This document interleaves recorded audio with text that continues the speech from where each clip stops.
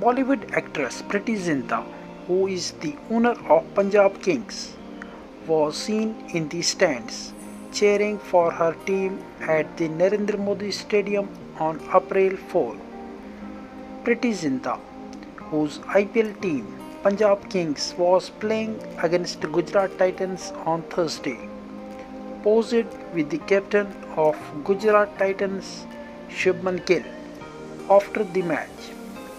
The pictures and the videos of Preity Zinta posing with Shubman Gill is doing the rounds and it has got both sports and movie fans excited. These images have been widely shared by many fans on social media. For these kind of latest cricket updates, please subscribe my channel and press the bell icon. That's it for now. I'll catch you next time. Till then, take care and goodbye.